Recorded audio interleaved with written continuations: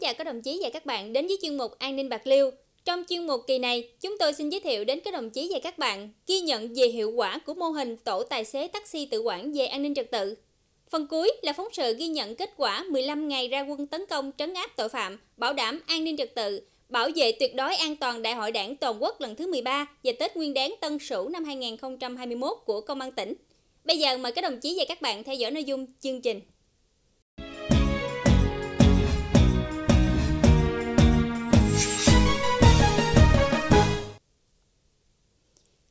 Đồng chí và các bạn, cơ quan cảnh sát điều tra công an thành phố Bạc Liêu vừa khởi tố vụ án, khởi tố bị can và ra lệnh tạm giam đối với Cao Văn Anh sinh năm 1986, ngụ xã Giao Hà, huyện Giao Thủy, tỉnh Nam Định để điều tra làm rõ về hành vi giao cấu với người từ đủ 13 tuổi đến dưới 16 tuổi.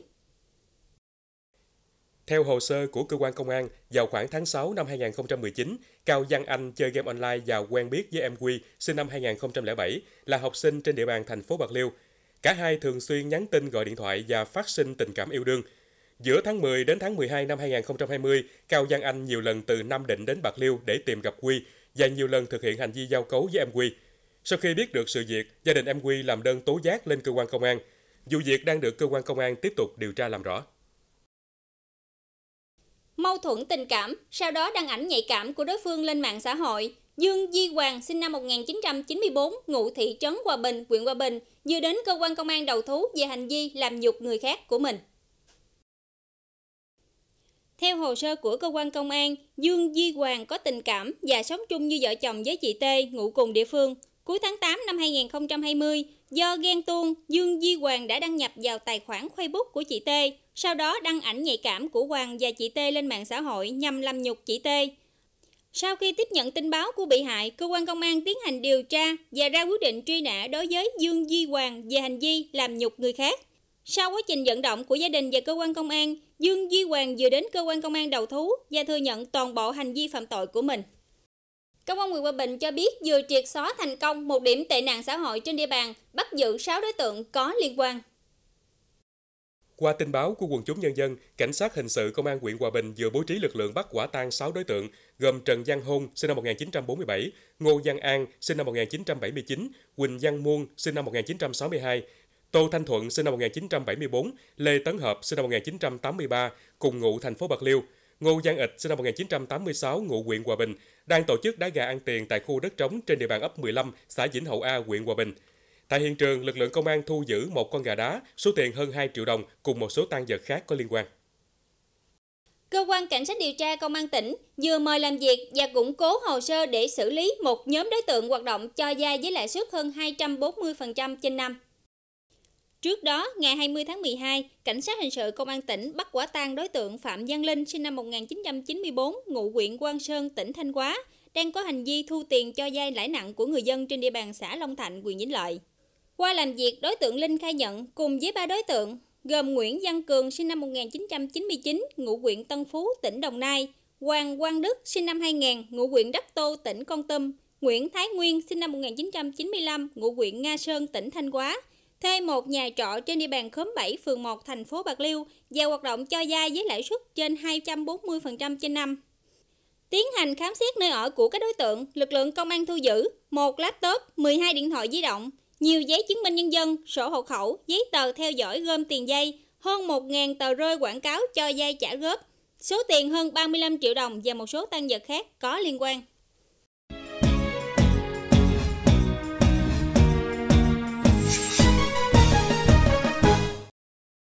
Kính thưa các đồng chí và các bạn, từ khi thành lập và đi vào hoạt động đến nay, tổ tài xế taxi tự quản về an ninh trật tự trên địa bàn thành phố Bạc Liêu ngày càng được củng cố, nâng cao chất lượng. Các thành viên của tổ luôn nêu cao ý thức chấp hành pháp luật, tinh thần cảnh giác, phòng chống tội phạm, tích cực tham gia phong trào toàn dân bảo vệ an ninh tổ quốc, góp phần cùng lực lượng công an giữ gìn trật tự an toàn xã hội trên địa bàn thành phố. Ghi nhận của nhóm phóng viên An ninh Bạc Liêu. Được thành lập tháng 7 năm 2017 với 4 tổ 98 thành viên, trong 3 năm hoạt động, tổ tài xế taxi tự quản về an ninh trật tự trên địa bàn thành phố Bạc Liêu luôn được sự quan tâm ủng hộ của các cấp các ngành, đặc biệt là lực lượng công an. Công an thành phố Bạc Liêu thường xuyên củng cố nâng chất các tổ tài xế taxi phù hợp với tình hình thực tế, duy trì mô hình hoạt động hiệu quả, góp phần đảm bảo an ninh trật tự trên địa bàn. Thì à, có thể nói mô hình à, tổ à, tài xế taxi tự quản và nên trật tự là một trong những cái mô hình đạt hiệu quả rất là cao trong phong trào là à, toàn dân à, bảo vệ an ninh tổ quốc. Thì à, trước hết đó là qua thực hiện cái mô hình thì ý thức chấp hành pháp luật của mỗi thành viên mỗi tài xế được à, nâng lên. Nhất là trong việc chấp hành nghiêm cái luật giao thông đường bộ thể hiện nét đẹp văn hóa khi tham gia giao thông. Thì văn minh lịch sự khi tiếp xúc với khách hàng đã góp phần xây dựng là thành phố Bạc Liêu xanh, sạch đẹp mà văn minh và đẩy mạnh là phát triển du lịch. Đồng thời thì à, các anh đã mạnh dạng là cung cấp rất là nhiều tin có giá trị, giúp cho lực lượng công an là bắt xử lý nhiều vụ việc, đối tượng như là trộm cắp cướp giật tài sản, rồi là sử dụng trái phép chất ma túy, cũng như là gây gói, đánh nhau, gây gói trật tự công cộng nhân dân đã góp phần là cùng lực lượng công an giữ vững tình hình an ninh trật tự à, trên địa bàn là thành phố Bạc Liêu. Bên cạnh việc tích cực tham gia trong đấu tranh phòng chống các loại tội phạm, các thành viên trong tổ còn luôn nêu cao ý thức tự phòng, tự quản, tự bảo vệ tính mạng, tài sản của chính bản thân, hành khách và nhân dân. Thường xuyên vận động người thân, gia đình tích cực tham gia xây dựng phong trào toàn dân bảo vệ an ninh Tổ quốc, các cuộc vận động do địa phương phát động. Từ đó xuất hiện ngày càng nhiều tấm gương sáng trong phong trào toàn dân bảo vệ an ninh Tổ quốc. Nhiều tài xế taxi có hành động cao đẹp như cứu giúp người bị nạn, nhặt được của rơi trả lại người mất. Hàng tháng, tổ thường xuyên tổ chức sinh hoạt định kỳ, lồng ghép với tuyên truyền giáo dục pháp luật, từ đó ý thức chấp hành pháp luật của mỗi thành viên có sự chuyển biến tích cực, nhất là việc chấp hành luật giao thông đường bộ, thể hiện nét đẹp văn hóa khi tham gia giao thông. Không để xảy ra tình trạng tranh giành khách, cự cãi, gây rối làm mất an ninh trật tự, làm mất mỹ quan đô thị. Thì chở khách thì tham gia giao thông thì bên đây chấp hành rất là đầy đủ. Giống như là để à, bảo à, đảm cái à, sự an toàn cho hành khách là chấp hành nghiêm chỉnh luật an toàn giao thông. Giống như là chạy xe thì đúng tốc độ quy định, là dừng đổ đúng nơi quy định. Qua các đợt kiểm tra của lực lượng cảnh sát giao thông như kiểm tra về nồng độ cồn, kiểm tra về tốc độ và kiểm tra các hành vi vi phạm khác thì các anh em tài xế là chấp hành rất là nghiêm túc, Ờ, không có trường hợp nào vi phạm. Những cái địa điểm mà thường xuyên xảy ra tai nạn giao thông hoặc là những cái ờ, khu vực nó phức tạp về ờ, giao thông thì anh em cũng kịp thời phản ánh cho lực lượng cảnh sát giao thông qua đó chúng tôi cũng chủ động trong công tác bố trí lực lượng tuần tra kiểm soát cũng như là xây dựng các cái kế hoạch, các phương án để đảm bảo cái tình hình trật tự an toàn giao thông được tốt hơn. Ghi nhận cho những đóng góp của các thành viên tổ tự quản thời gian qua trong phong trào toàn dân bảo vệ an ninh Tổ quốc, các cấp các ngành đã tặng thưởng biểu dương cho nhiều cá nhân có tinh thần trách nhiệm với nghĩa cử cao đẹp, qua đó đưa phong trào toàn dân bảo vệ an ninh Tổ quốc của thành phố Bạc Liêu từng bước phát triển, góp phần giữ gìn an ninh trật tự tại địa phương.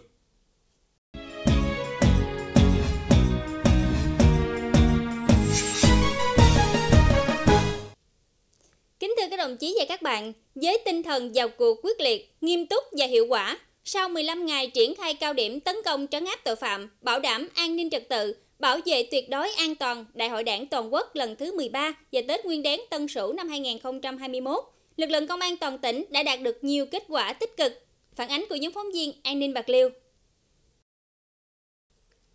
Hàng năm, Tết Nguyên đán là thời điểm diễn ra nhiều hoạt động xã hội và vui chơi giải trí của người dân trên địa bàn tỉnh nói riêng, của đất nước nói chung. Để cho người dân vui xuân đón Tết trong an toàn và thuận lợi, đặc biệt là đảm bảo tuyệt đối an toàn Đại hội Đảng toàn quốc lần thứ 13, Công an tỉnh đã chủ động xây dựng kế hoạch mở cao điểm tấn công trấn áp tội phạm. Ngay sau khi triển khai cao điểm, lực lượng công an toàn tỉnh đã đồng loạt ra quân triển khai nhiều kế hoạch, biện pháp tấn công trấn áp các loại tội phạm, đảm bảo an ninh trật tự, tham mưu cho cấp quỹ chính quyền nhiều văn bản chỉ đạo nhằm huy động sức mạnh của cả hệ thống chính trị cùng lực lượng công an làm tốt công tác đảm bảo an ninh trật tự tại địa phương. Tại huyện Phước Long, Công an huyện đã chỉ đạo các đội nghiệp vụ, công an các xã thị trấn tăng cường công tác nắm tình hình, kịp thời phát hiện ngăn chặn và đấu tranh có hiệu quả với các loại tội phạm. Qua đó, nhiều điểm tệ nạn xã hội trên địa bàn đã được triệt xóa. Điển hình là vào khoảng 16 giờ ngày 15 tháng 12, tại ấp Mỹ Trinh, xã Hưng Phú, huyện Phước Long, Công an huyện bố trí lực lượng bắt quả tang Quỳnh Thị Thúy, sinh năm 1973, đang có hành vi mua bán số đề.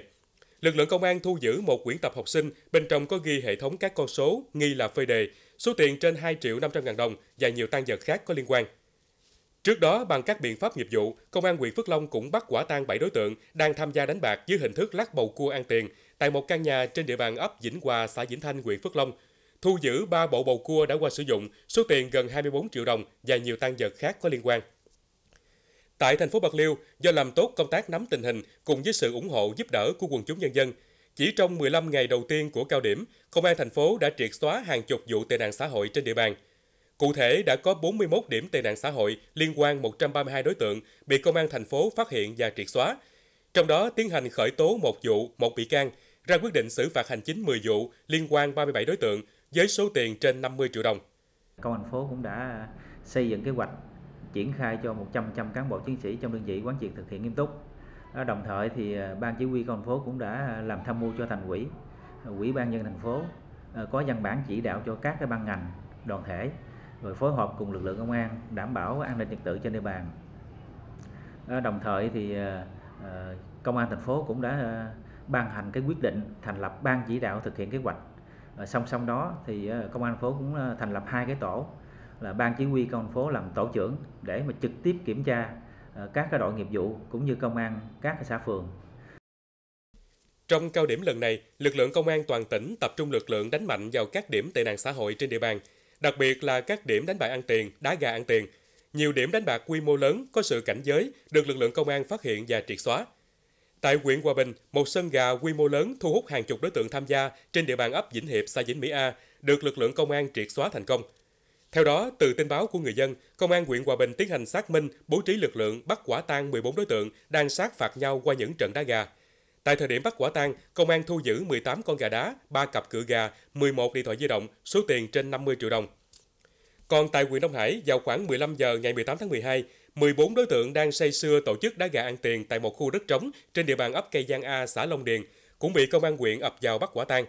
Số tiền mà lực lượng công an thu giữ tại sân gà này là trên 100 triệu đồng. 7 con gà đá, 12 điện thoại di động, 19 xe gắn máy cùng nhiều tăng vật khác có liên quan. Đây là điểm tệ nạn xã hội lớn nhất được lực lượng công an triệt xóa trong 15 ngày đầu ra quân tấn công trấn áp tội phạm. Công an huyện Đông Hải đã chủ động là nắm quản lý chặt địa bàn là lên danh sách tất cả các cái đối tượng trong diện quản lý nhất là tội phạm hình sự về trộm cắp tài sản, cướp giật tài sản và các cái tụ điểm tệ nạn xã hội như đá gà, đánh bài, số đề, cá cược bóng đá, rồi tệ nạn ma túy. Công tác quản lý nhà nước và an ninh trật tự cũng được đẩy mạnh. Lực lượng chức năng công an tỉnh đã tiến hành kiểm tra các cơ sở kinh doanh có điều kiện về an ninh trật tự, phát hiện và xử lý nhiều cơ sở vi phạm, tăng cường kiểm tra cơ sở trong lĩnh vực phòng cháy chữa cháy, củng cố các đội phòng cháy chữa cháy ở cơ sở. Lực lượng cảnh sát giao thông cũng tăng cường tuần tra kiểm soát trên các tuyến đường bộ, đường thủy nội địa, xử lý nghiêm các vi phạm là nguyên nhân trực tiếp gây ra tai nạn giao thông và ủng tắc giao thông, nhất là vi phạm chở quá tải, quá số người quy định, vi phạm về tốc độ, nồng độ cồn. Qua đó đã phát hiện lập biên bản gần 1.000 trường hợp vi phạm, ra quyết định xử phạt với số tiền hơn 1 tỷ 100 triệu đồng, tạm giữ 143 phương tiện các loại. Chỉ trong 15 ngày diễn ra cao điểm, lực lượng công an toàn tỉnh đã đấu tranh triệt xóa 95 vụ tệ nạn xã hội, bắt giữ 360 đối tượng có liên quan, phát hiện 6 vụ vận chuyển hàng cấm, 27 trường hợp vi phạm pháp luật trên lĩnh vực môi trường, triệt xóa 15 vụ tệ nạn ma túy. Kết quả 15 ngày ra quân đã thể hiện rõ sự mưu trí dũng cảm và quyết tâm đảm bảo tốt tình hình an ninh chính trị, trật tự an toàn xã hội trên địa bàn, đem lại niềm tin rất lớn cho quần chúng nhân dân. Mình thấy thì à, mấy ngày qua lực lượng công an tuần tra rất là thường xuyên à, và mình xem tin tức thì mình cũng thấy à, bắt bớ rất là nhiều ờ, tệ nạn xã hội. Thì là một người dân Bạc Liêu thì mình cũng cảm thấy an tâm hơn rất là nhiều đặc biệt đây là thời gian cận Tết. Thấy mấy anh tuần tra rất tốt tại vì trên đường Tết này kia nọ thì mấy anh tích cực đi tuần tra. Để đảm bảo cho dịp Tết này đừng có chuyện xảy ra